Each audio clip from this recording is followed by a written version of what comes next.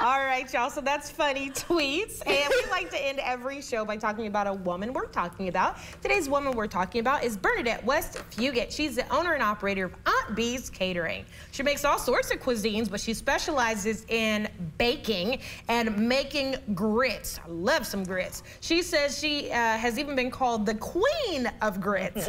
She's heavily involved in the Central Kentucky theater scene. She's a proud mom and grandma who uses her time and talents to serve her community. Bernadette, you are a woman worth talking yes. about.